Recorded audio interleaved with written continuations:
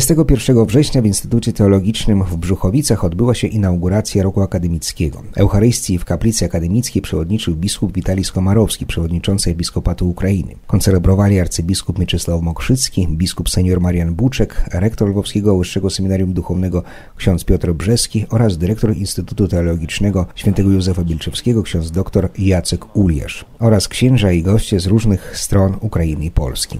Po mszy świętej rozpoczęła się inauguracyjna akademia śpiewem hymnu Gaudeamus Igitur.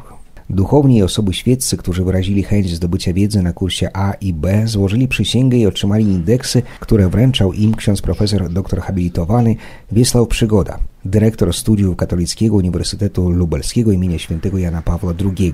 Arcybiskup Mieczysław Mokrzycki wygłosił również słowo do studentów i wychowawców, a na zakończenie uroczystości jako dziękczynienie wszyscy obecni zaśpiewali pieśń ku czci Matki Boskiej Śliczna Gwiazdo Miasta Lwowa. Pozbawiona realnych relacji lub kiedy one słabną lub wręcz zanikają, władza przestaje być władzą, przestaje być władzą służebną.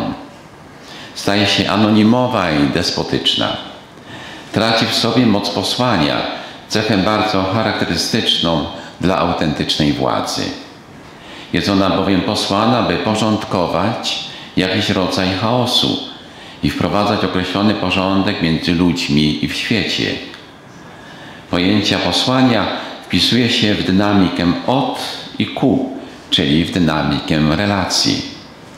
Posłanym od Ojca był sam Chrystus, który mówił, że ten, kto chce być wśród Was wielkim, niech będzie waszym sługą. A kto chciałby być pierwszy między wami, niech się stanie waszym niewolnikiem. Tak właśnie Syn Człowieczy nie przyszedł, by mu służono, lecz żeby służyć i dać życie swoje na okup za wielu. Z Ewangelii patrona dnia dzisiejszego świętego Mateusza. Dobry władca, będący w ciągłej, a zarazem pięknej i dobrej relacji z tymi, którzy mu władzę powierzyli, jest warunkiem spokoju, zadowolenia, dobrobytu i bezpieczeństwa w państwie. W dramacie Williama Szekspira Macbeth Macbeth oraz Lady Macbeth dążą do władzy w sposób obsesyjny. Władza jest maszeniem obojga Wydaje się ona jedynym warunkiem szczęścia małżonków.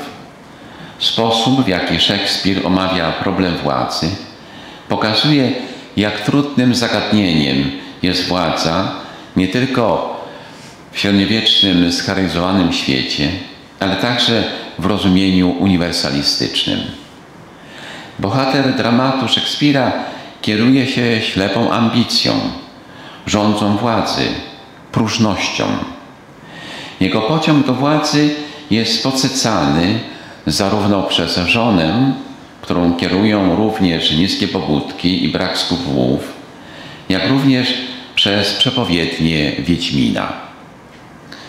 Władza jest ważna, ale jednocześnie jest ona źródłem wielu zagrożeń, realnych pokus, poważnych niebezpieczeństw.